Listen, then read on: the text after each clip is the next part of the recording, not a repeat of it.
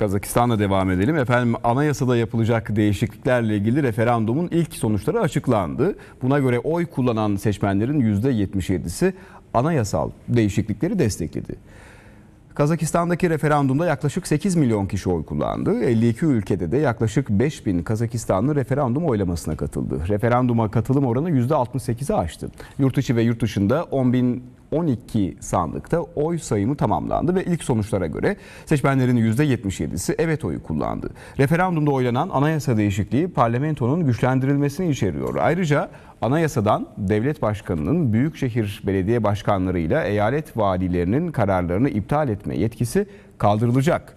Cumhurbaşkanının parlamentonun üst kanadı senatoya atadığı milletvekili sayısı 15'ten 10'a düşürülecek.